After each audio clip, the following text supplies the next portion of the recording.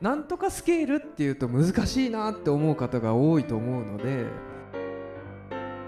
えーこのチャンネルでは、えー悩みがある音楽ができないっていうのをできるように変えるをコンセプトにさまざまな情報発信をしております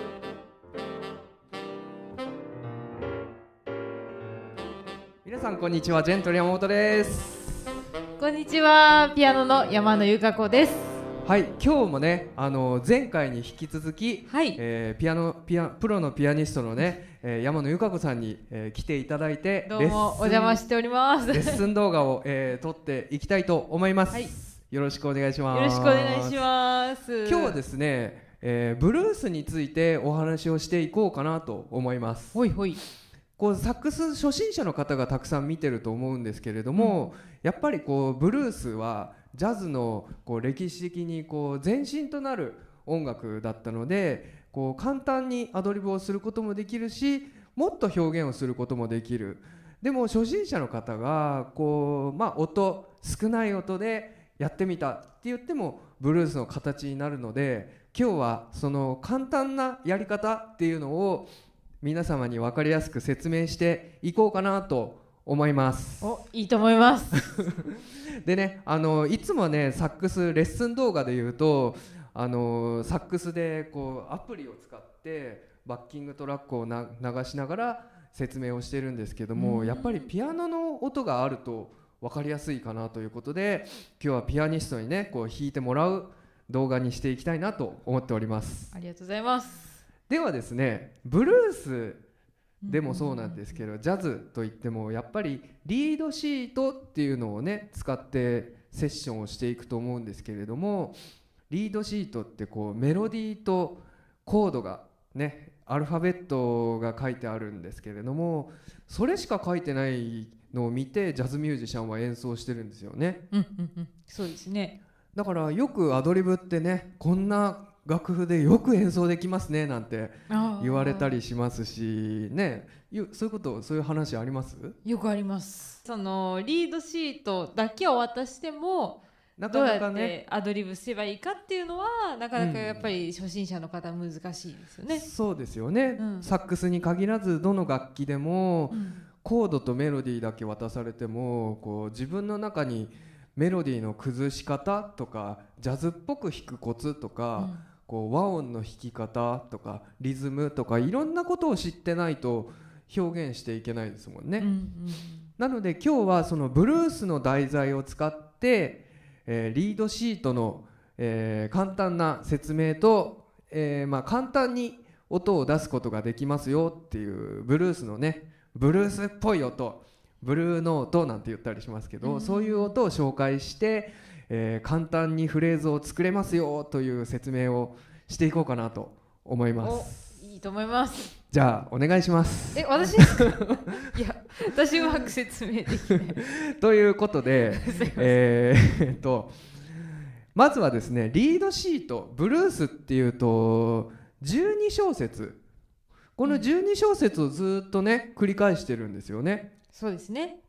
なので例えばさっき演奏した「シージャムスブルース」でもそうですし「あのー、Now's the Time」とか「ストレートノーチェイサー」とかいろいろね「オープリバーブ」とかねいろんな曲があるけれどもどんな曲でも12小節のワンコーラスを繰り返していると。うんなのでそのワンコーラスっていうのがどんなどれくらいの長さなんだよっていうのとどんなコードを使っているっていうのをちょっとあのピアノに弾いてもらおうかなとはい。思いますはい。ではまずどうしようかな C ジャムスブルースをさっき弾きましたので C ジャムスブルースはコードはどんなコードが出てきますか？コードはですね、まあ C ジャムブルースっていうぐらいなので C7 から始まって C7 でね出てきてでその後、えー F7 ですね。F7 でまた C7 に戻る。うん。でそして？その後に、えーこれは d マイナー7うん。G7 G7 C7 はいですね。これがまあジャズの人がよくやってるコード進行です、なんかあのロックとかうん。本当にブルースしかやらないセッションだとこの最後のここうの d マイナー7とうん。G7 っていうとこがちょっと違いますよね。あのそうですね。G7 F7 うん。C7 っていく人もいますよね。そうですね、うんうん。これはジャズっぽいブルースの響きですね DGC っていうのはね。そうですね。だからジャズのセッションってなるとこっちの d マイナー G7C7 っていく人がもうほとんどですね。そうですね、うんうん。これいわゆるこう251っていうコード進行ですね。ですね。うんうん。もう僕の動画でねもう20本ぐらい動画を上げてますんで 251がわからない人はぜひ見てくださいね。では、えー今のでね同じ C7 が何回か出てきたりとか、はい F7 が何回か出てきたりっていう風に同じコードがね何度も繰り返し出てきたり、で最後の4小節で d マイナー G7C7 と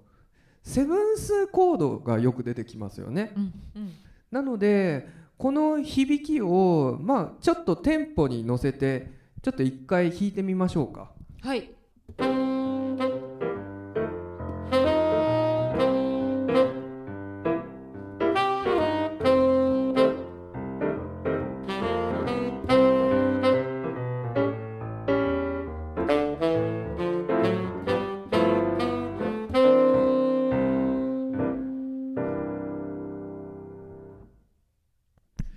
いいですね。なんかこうブルースっぽい感じになりましたね。ブルースだもんだって今まあ、ブルースです。そうですね。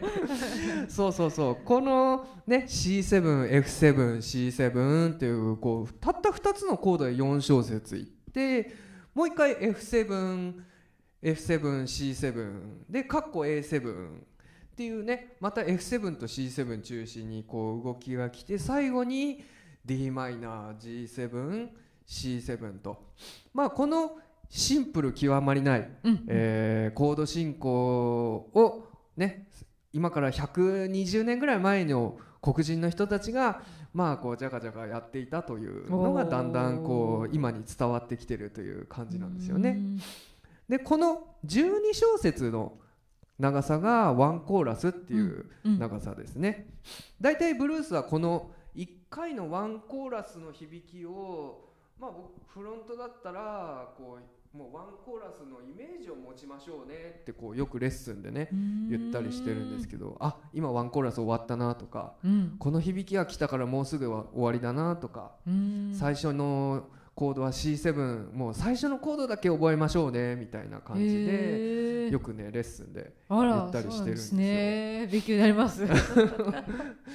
でアドリブをねやったりするっていうのはこうなかなか難しいですっていう方多いと思うんですけども、最初のうちはねこうブルースって言ってもブルーノートスケールとかねうん。ペンタトニックスケールとかマイナーペンタなんてよく言ったりしますけども、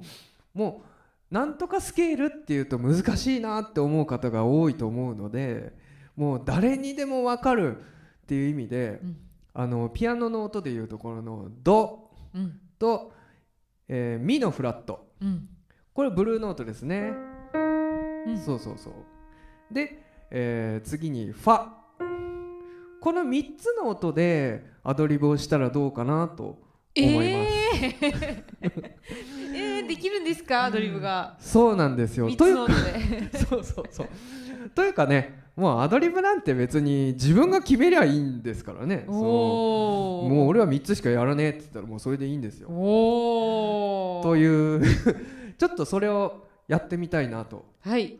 じゃあいきなりやるのは大変なので、うん。あの C7 ってちょっとピアノで弾いてもらってもいいですか？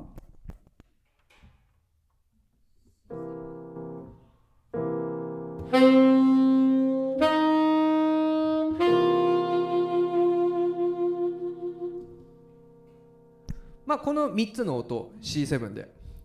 次じゃあ F7 って弾いてもらってもいいですか？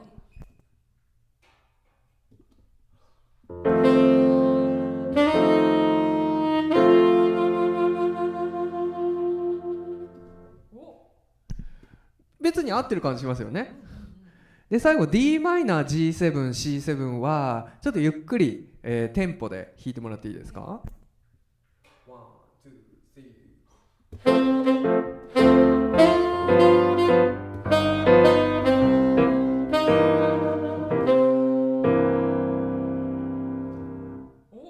ほら全部もうワンコーラスいっちゃいましたね。お 三つの音で。そうそうそうそう。こういう感じであのおシンプルなメロディーでも後ろのバックのコードが変わるだけでこうあ違うメロディーなのかなっていう響きになったりねしますよね。なんか僕はなんかこうなんかよく写真に例えたりとかして、こう自分がこうね真ん中に写っててもバックがねこうアメリカ行ってきたぜってこうバックがアメリカになるのかじゃあファミレスで撮ってるのかこう背景によってその写真のイメージって違うじゃないですか。全然違いますねだから同じ3つの音でも C7 って弾くのと F7 って弾くのと同じメロディーでも違うように聞こえるのかなっていうふうにお思ったりしてるんですけどね。なるほどってことは初心者の方はまずこの3つの音でアドリブをしてみる。そういう感じでね、やってみたらどうかなと思います。おえーでは実際にこの3つの音で、えー弾いてみたっていう解説をするのは次回の動画に回したいと思います。ということで、えー本日は動画をご覧いただきましてありがとうございます。えー無料のメルマガも、えーやっておりますので、えーぜひぜひチャンネル登録をお済みでない方はぜひぜひよろしくお願いします。えーこのチャンネルでは、えー悩みがある音楽ができないっていうのをできるに変えるをコンセプトにさまざまな情報発信をしておりますのでぜひ今後もよろしくおりまお願いいたします。それではまた。また